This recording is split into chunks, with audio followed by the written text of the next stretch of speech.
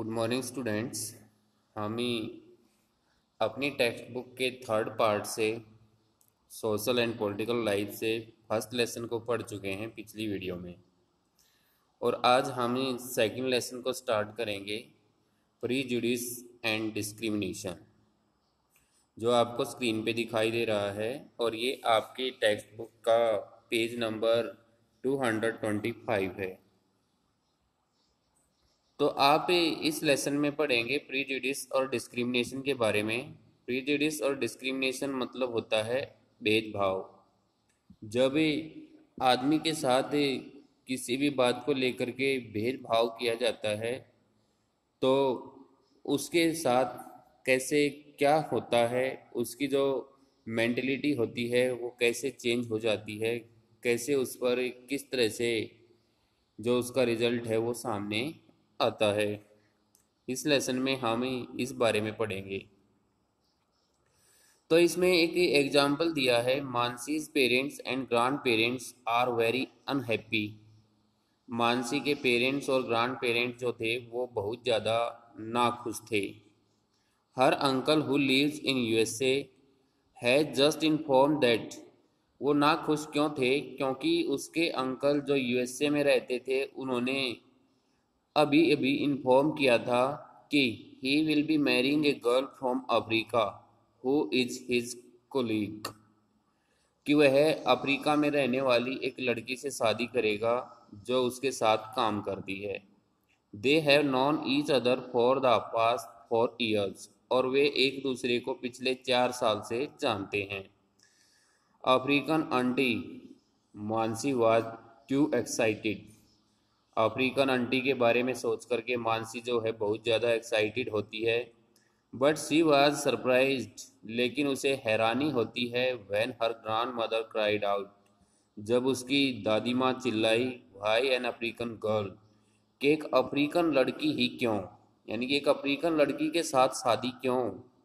Anil could have married an Indian girl who stays in America Anil एक Indian लड़की से भी तो शादी कर सकता है जो अमेरिका में रहती है। I am sure this girl is due cunning and selfish मुझे पूरा विश्वास है कि ये लड़की चालाक और स्वार्थी होगी।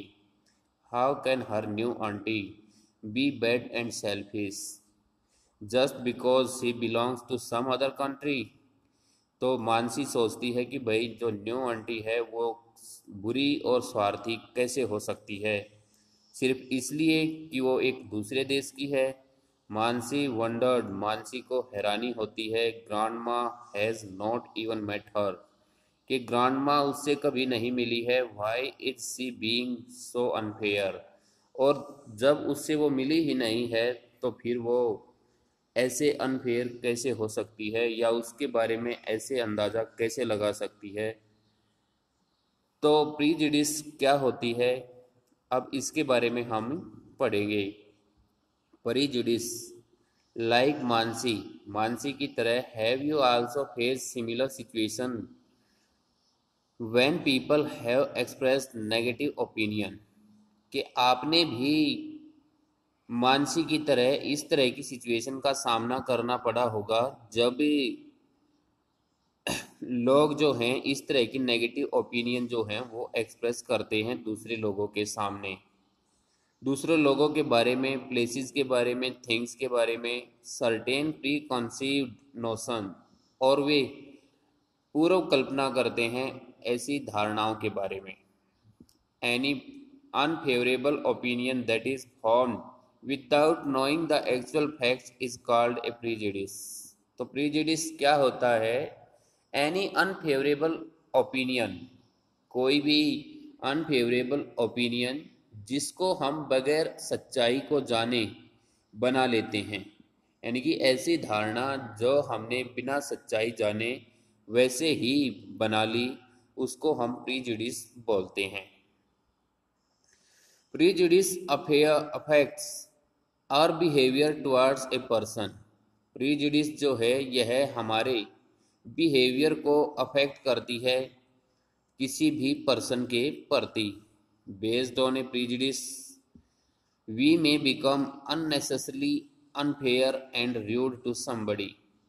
अगर हम प्रिजिडिस के बारे में प्रिजिडिस के आधार पर कोई भी काम करते हैं तो प्रीजिडिस जो है वह हमें अननेसेसरीली रूप से अनफेयर और रूड बना देती है किसी के प्रति this unfair treatment of people on the basis of prejudice is called discrimination और यह अनफेयर ट्रीटमेंट जो है, लोगों का प्रीजिडिस के आधार पर इसको हम डिस्क्रिमिनेशन बोलते हैं।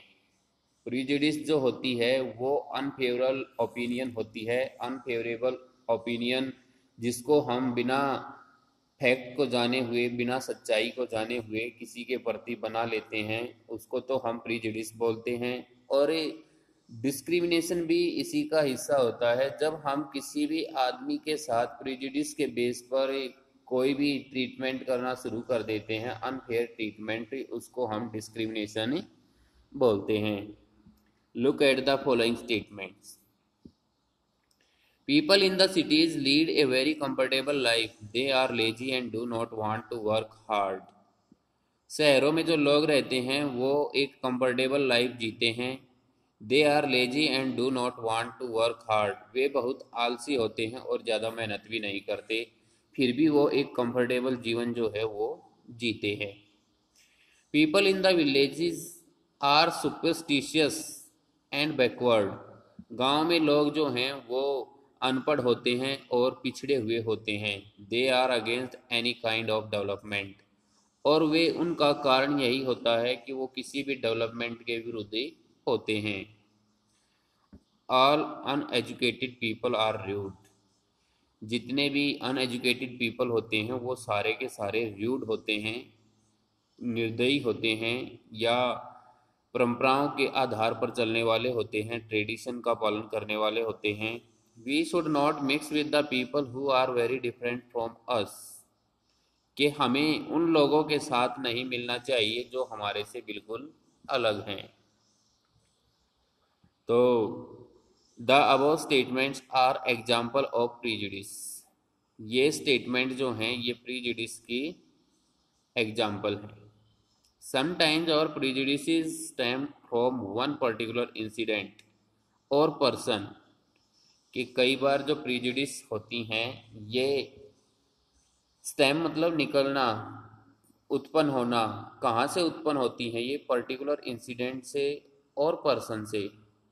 And we develop unfounded negative views about people और क्या होता है कि हम डेवलप हो जाते हैं unfounded negative views about people यानी कि हमारे अंदर लोगों के प्रति निराधार अनफाउंडेड मतलब निराधार जो नकारात्मक व्यूज़ हैं, वो हमारे अंदर आ जाते हैं।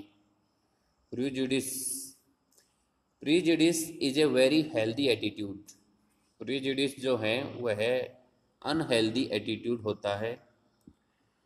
बेकार रवैया होता है। We should get rid of all kind of prejudice हमें क्या करना चाहिए? हर तरह की प्रीजुडिस से छुटकारा पाना चाहिए एंड ट्राई टू जज people only after interacting with them personally a positively और किसी भी आदमी के बारे में हम, हमें तभी अंदाज़ा लगाना चाहिए जब हम उससे इंटरेक्ट कर लें। यानी कि हम उससे मिलने जुलने के बाद ही उसके बारे में अंदाज़ा लगाते हैं कि भाई ये आदमी किस तरह का है। फिर काइंड्स ऑफ़ प्रीजडिस प्रीजडिस की काइंड्स क्या होती हैं? सबसे पहले जेंडर जेंडर के आधार पर प्रेजिडिस मानी जाती है, भेदभाव किया जाता है। कैसे होता है जेंडर के आधार पर? Women face a lot of prejudice at home जो औरतें होती हैं घर पर, उनके साथ बहुत ज़्यादा भेदभाव होता है। उनको काफ़ी प्रीजिडिस का सामना करना पड़ता है।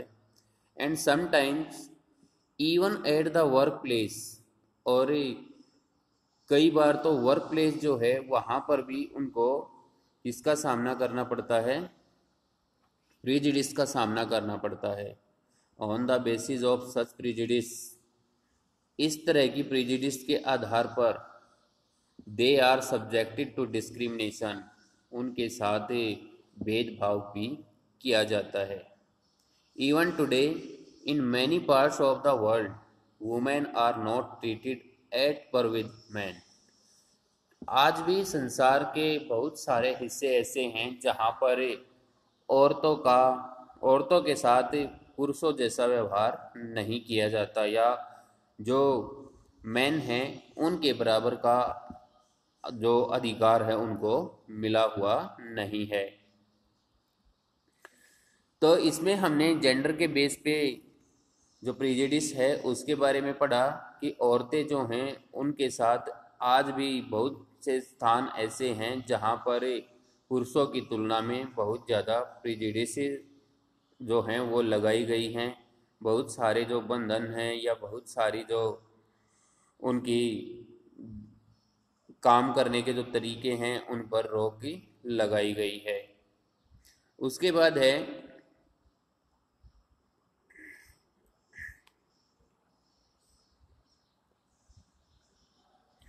In many places, they are still considered solely as homemakers.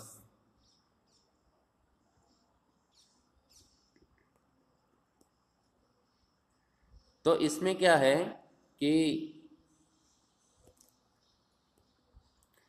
बहुत से स्थान ऐसे हैं जहाँ पर still considered solely as homemakers औरतों को केवल होम मेकर्स जो है वो माना जाता है सॉली मतलब पूरी तरह से होम मेकर माना जाता है and are denied right to education और आज भी औरतों को एजुकेशन से वंचित रखा जाता है. In some parts some places there are rage rules on what women can or can not do बहुत से स्थानों पर अब भी बहुत कठोर रूल जो हैं, वो बनाए गए हैं कि औरतों को क्या करना है, यानी कि वो क्या कर सकती हैं और क्या नहीं कर सकती। Severe restrictions on the activities that women can do even today. और बहुत ज़्यादा बंधन जो हैं, ऐसे हैं, जिन पर औरतों की एक्टिविटीज़ पर आज भी रेस्ट्रिक्शंस लगे हुए हैं, पाबंदियाँ लगी हुई हैं। They are not allowed to get go out of the house और मिक्स विद पीपल फ्रीली और उन्हें अलाउ नहीं किया जाता कि वो घर से बाहर जाएँ और पुरुषों के साथ काम करे आज़ादी से।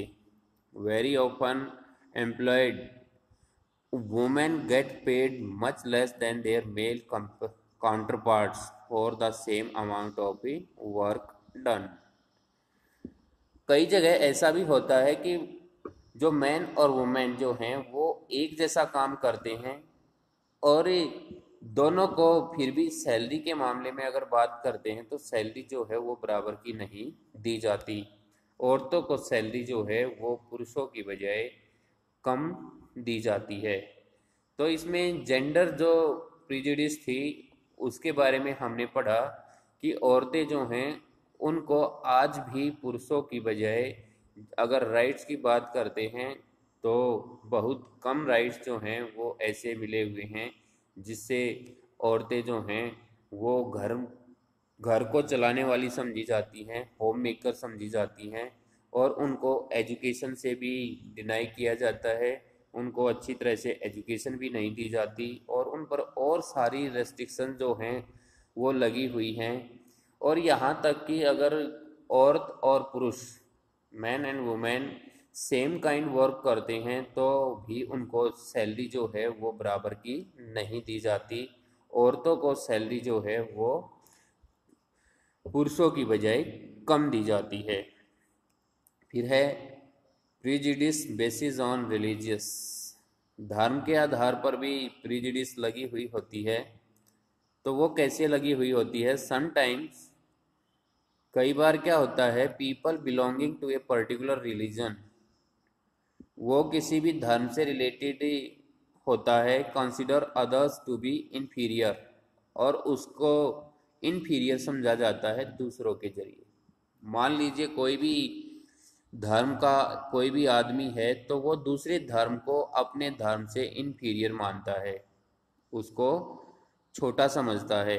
They try to impose their thoughts and views on them और वे क्या करते हैं? अपने विचारों को उन पर थोपने की कोशिश करते हैं। This is called religious prejudice इसी को रिलीजियस प्रिजुडिस कहा जाता है। This often leads to violence and extreme hatred इससे क्या होता है? वायलेंस बढ़ता है और एक्सट्रीम हेटर्ड बहुत ज़्यादा घृणा जो है वो पैदा होती है। तो रिलीजियस प्रिजुडिस में हमने पढ़ा कि कोई भी आदमी जो किसी भी धर्म से रिलेटेड है वो दूसरे धर्म के लोगों को अपने से इन्फीरियर मानता है और अपने विचारों को उस पर थोपने की कोशिश करता है, जिससे वायलेंस और हिटर्ड जो है वो बढ़ जाती है। फिर आता है prejudice basis on race region caste race मतलब जाति, वंश रीजन एरिया अक्षेत्र कास्ट जाति। तो इनके आधार पर भी प्रीजिडिस जो है वो लगाई जाती है। Prejudice is based on region race and caste etcetera prejudice जो हैं वो रीजन के आधार पर रेस के आधार पर कास्ट के आधार पर होती है। आर डीप रूटेड और ये बहुत ही डीप रूटेड मानी जाती है। People of the so called superior caste consider people belonging to the other class inferior to them क्या होता है कि जो लोग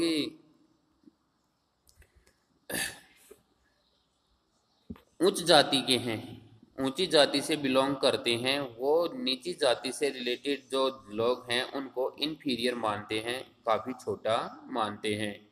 Such an attitude leads to a lot of discrimination और इस तरह का जो एटीट्यूड होता है, वह बहुत ज़्यादा डिस्क्रिमिनेशन जो है, उसको लेकर आता है।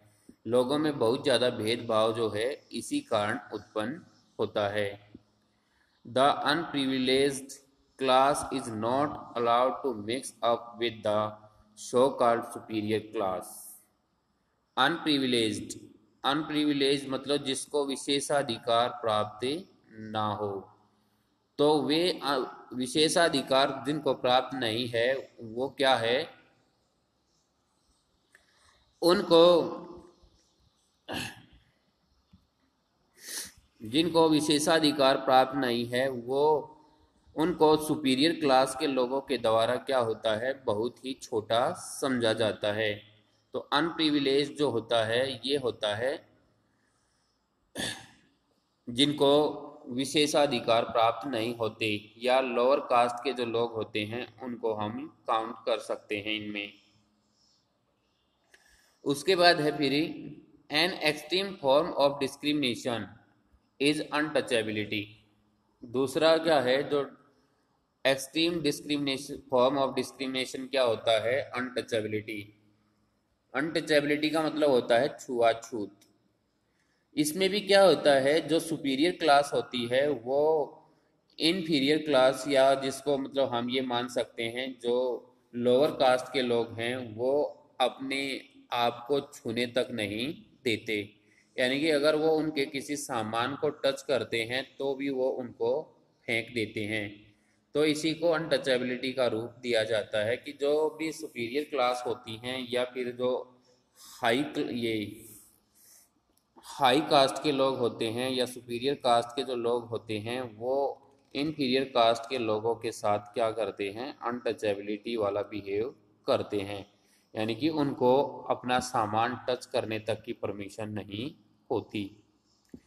Similarly some people consider their own region superior to the rest of the country इसी तरह क्या होता है? कुछ लोग जो हैं, वो अपने रीजन को सुपीरियर मानते हैं रेस्ट ऑफ़ द कंट्री बाकी बचे देश के कंपेयर कर, के साथ। There are still other who think that they are racially superior than the rest of the population and try to dominate others.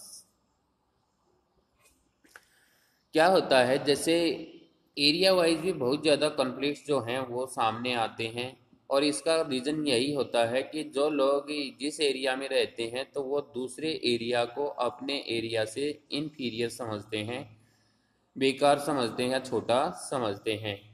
और इस तरह की जो नोशंस हैं, इस तरह की जो उनकी धारणा है, उससे क्या होता है? वायलेंट कॉन्फ्लिक्ट्स और acrimony among people belong to different communities जो अलग अलग कम्युनिटीज़ के लोग हैं, उनमें क्या आता है? एक्रीमनी जो है और वायलेंट कॉन्फ्लिक्ट जो है, वो हो जाते हैं। इसमें क्या होता है कि जो वायलेंट कॉन्फ्लिक्ट मतलब जिसमें हिंसात्मक झगड़े होते हैं और एक्रीमनी का मतलब होता है एक्रीमनी कटुता या कड़वाहट जो है इनमें आ जाती है। क्योंकि जब हम ये सोचते हैं कि भाई ये जैसे हम अपने जिस भी स्टेट से बिलोंग करते हैं या जिस भी एरिया से बिलोंग करते हैं, अगर सपोज़ करो कि हम गाँव का एग्जांपल लेते हैं कि हम इस गाँव से बिलोंग करते हैं तो दू, दूसरे गाँव के बारे में अगर हमारी जो सोच है वो ये सोची होगी कि भाई ये गाँव अच्छा नहीं है। अगर हम ब्लॉक लेवल की बात करते हैं डिस्ट्रिक्ट लेवल की बात करते हैं स्टेट लेवल की बात करते हैं तो हम ही अपने स्टेट को अच्छा मानते हैं अपने डिस्ट्रिक्ट को अच्छा मानते हैं और दूसरे को इन्फीरियर मानते हैं। तो उससे क्या होता है वायलेंट कॉन्फ्लिक्ट्स और एग्रीमनी जो है वो लोगों के बीच पाई जाती है। तो रीजन वाइज भी बहुत से डिस्क्रिमिनेशन प्रिजिडिस जो हैं, वो सामने आती हैं। उसके बाद है स्टीरियोटाइप्स स्टीरियोटाइप्स में क्या है? जिस तो sometimes we assign some qualities to a group of people stereotypes का मतलब होता है रूढ़िवादिता। यानी कि जो रूढ़ी के अकॉर्डिंग यानी कि जो परंपराओं के अकॉर्डिंग चलता है, उसको हम स्टीरियोटाइप्स बोलते हैं। तो sometimes we assign some qualities to a group कि कई बार हम क्या करते हैं, किसी भी ग्रुप के लोगों की there by forming a particular image of them उनकी एक इमेज बना लेते हैं। This image or belief about a person or a group of people based on the idea that every one in that particular group will look or act in the same way is called stereotype अब क्या होता है कि जब भी हम किसी भी क्वालिटी को असाइन करते हैं, किसी भी ग्रुप ऑफ़ पीपल के लिए there there by forming a particular image of them और उनकी जो पर्टिकुलर इमेज है, उसकी फॉर्मिंग करते हैं तो इस इमेज और बिलीफ को जिस भी आदमी के बारे में हमने उसको किया है या ग्रुप ऑफ़ पीपल के बारे में किया है तो इस ग्रुप को क्या करेंगे हम उसी के अकॉर्डिंग काम करने को हम स्टीरियोटाइप बोलते हैं। यानी कि जैसे जैसे परंपरा चली आ रही है, पहले जो ये माना जाता था कि भाई ये ग्रुप ऐसा है, ये आदमी ऐसा है और वैसे के, वैसे उसी के अकॉर्डिंग हम काम करते रहें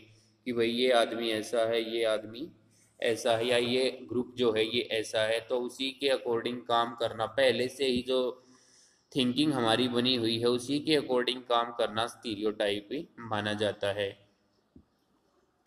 तो इसमें कुछ एग्ज़ाम्पल दिए हैं।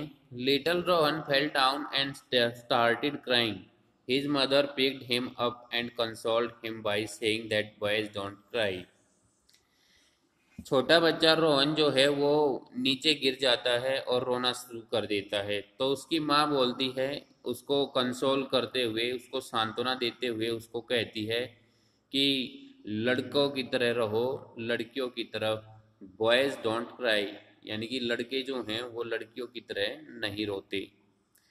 रोने का काम जो है वो लड़कियों का है तो वो अपने लड़के रोहन को इस तरीके से समझाती है कि रोना जो है वो लड़कों के लिए अच्छा नहीं होता। तो ये एक स्टीरियोटाइप बनी हुई है कि लड़का जो है वो रोता नहीं है। तो इसलिए उसकी माँ जो है वो उसको यही समझाती है कि लड़कियों की तरह मत रो लड़कियाँ रोती हैं। उसके बाद है Rishi wants to learn Bharatanatyam along with his sister but his father disagree Rishi जो है, वो भारतनाट्यम को सीखना चाहता है, अपनी बहन के साथ ही लेकिन उसके पिताजी जो हैं, वो उसको मना कर देते हैं, इस बात से सहमति नहीं है।